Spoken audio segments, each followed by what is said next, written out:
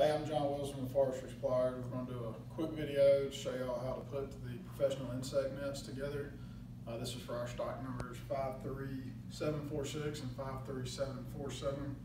Uh, when you get your net, it's gonna be wrapped up, um, all around the handle, but you just have a handle, the metal rod to make it move, and then your actual netting. Uh, first step is go ahead and take this red screw out of the end of your handle there, and, uh, just put that down. Then grab your rod and find the uh, two openings in the net and just start threading the rod through the, the holes in the net. When you get down, as you come through to this other hole, the rod's flexible, so you can bend it uh, to make it easier to go through. And then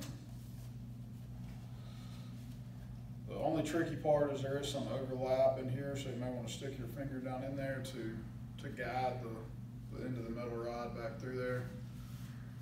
And then just work your net back around this rod.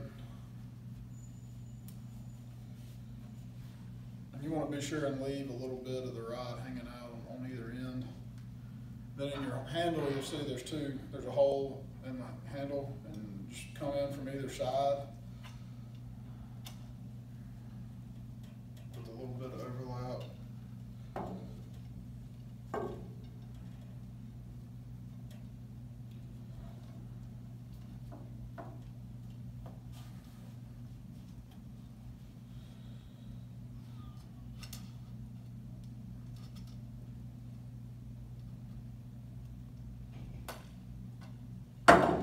So then once you get that in there, you'll have, I don't know if you can see, but you'll have a little bit of the rod sticking out either side.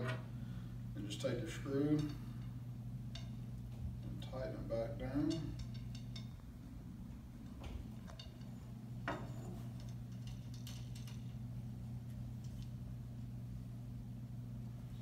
Then you just kind of make sure everything's fit on there right. And if your rod gets a little bent, you can straighten it out how you want, but there you go, professional insect net, seven four six and five three seven four seven.